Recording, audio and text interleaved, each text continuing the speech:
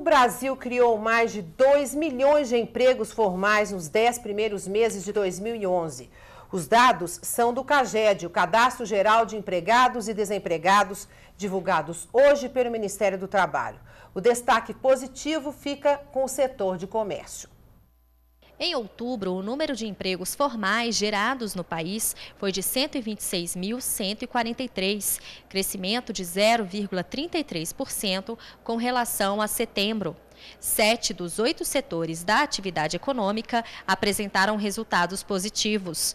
O comércio teve a maior taxa de crescimento, 60.878 postos, aumento de 0,74%. O setor de serviços teve resultado superior à média para o mês, com criação de 77.201 postos de trabalho, aumento de 0,51%. A agricultura, por motivos sazonais, teve perda de 29.913 postos, queda de 1,77%. Em relação a outubro do ano passado, houve queda de 38,41% no número de empregos com carteira assinada.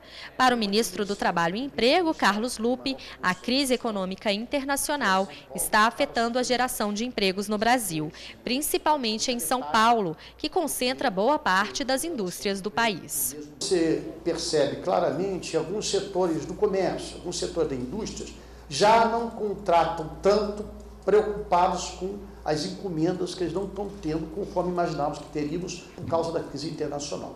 No acumulado do ano, o número de empregos gerados chegou a 2.241.574, crescimento de 6,24% com relação ao acumulado de 2010.